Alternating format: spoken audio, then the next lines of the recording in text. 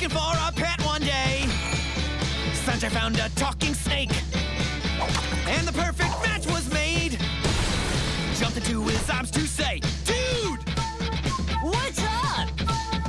Sanjay and Craig, the stuff they get to is insane. Sanjay and Craig, they're in the Best Friends Hall of Fame. Sanjay and Craig, there is no Best Friends Hall of Fame. They made it up.